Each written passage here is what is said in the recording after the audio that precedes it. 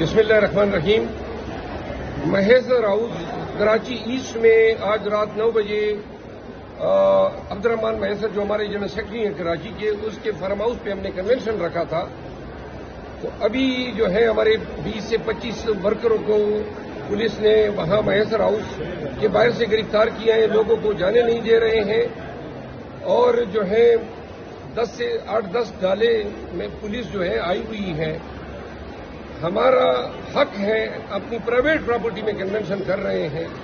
لہذا کنونشن ہم ضرور کریں گے، گرفتار کرتے ہیں، مارتے ہیں، پیٹتے ہیں، جو بھی کرتے ہیں۔ پاکستان تحریک انصاف کراچی کے تمام ورکروں میں گزارش کر رہا ہوں کہ میسر ہاؤس فوراً پہنچے۔ ہم نے جانا ہے وہاں پہ۔ اور وہاں پہ پولیس کڑی ہے، اگر ہماری تعداد زیادہ ہوگی تو ان کی ہمت نہیں ہوگی۔ لہذا میں آدھے گھنٹے میں میسر ہاؤس پہنچ رہا ہوں۔ نو سوا نو بجے جو ہے ہم نے میسر ہاؤس میں داخل ہونا ہے، اگر پولیس ہمیں روکتی ہے، تو ہم نے ان کے جبر اور استبداد کو رد کرنا ہے۔ ہمارا آئینی قانونی حق ہے پرائیویٹ پراپرٹی میں۔